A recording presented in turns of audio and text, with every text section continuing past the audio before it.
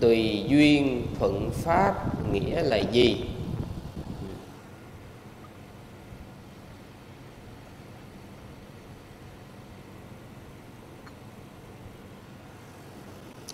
Xin thưa với quý vị, đây là một cái khái niệm dễ bị xuyên tạc và bị xuyên tạc nhiều nhất, một trong những thứ bị xuyên tạc nhiều nhất từ xưa tới giờ bởi vì người ta xuyên tạc theo cái ý mà họ muốn.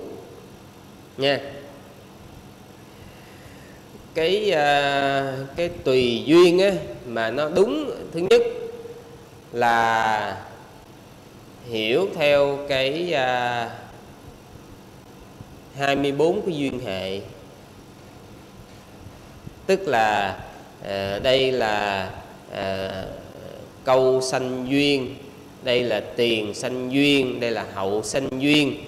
À, đây là à, tương ưng duyên đây là bất tương ưng duyên. Thì khi mà mình hiểu như thế thì mình thấy tất cả mọi thứ nó đều là duyên.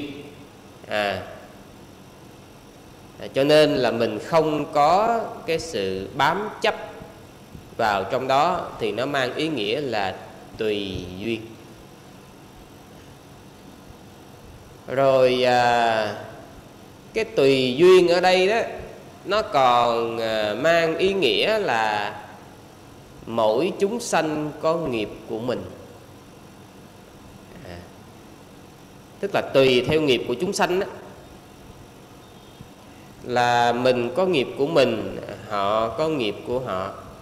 Thí dụ như à, cái nghiệp à, mà mình à, tới lúc À, mình phải bị à, chịu đựng sự phỉ bán thì à, mình chấp nhận mình kham nhẫn với nó. À, khi mà cái nghiệp nó đến lúc à, mà mình à, phải à, chịu những cái việc này việc kia thì à, à, mình kham nhẫn với nó. Hoặc à, là khi mình bị cái người khác họ tấn công thì mình kham nhẫn với nó thì đó gọi là tùy duyên. Chứ không phải là mình muốn làm gì đó mình làm. Ai xúi sao mình làm vậy? Xúi bậy mình làm theo mình kêu là tùy duyên thì cái đó không phải cái đó là bị xuyên tạc. Và đời nay cái chữ tùy duyên ấy, bị xuyên tạc nhiều lắm. Để người ta phục vụ cho cái mục đích à, hưởng thụ dục lạc của họ hoặc là bào chữa là nhiều chứ còn cái chữ tùy duyên ấy, mà nó nếu nó đúng là nó phải phục vụ cho mục đích giải thoát thì mới gọi là tùy duyên. Còn một cái là thuận pháp đó.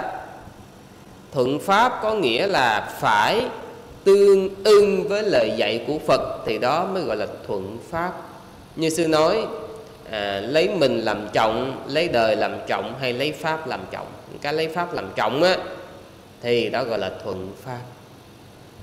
Cho nên khi mà mình à, hiểu theo đúng cái nghĩa của nó thì không có vấn đề gì. Mà kẹt nổi như sư nói bốn cái chữ này là nằm trong nhóm những thứ mà bị xuyên tạc nhiều nhất. Ừ.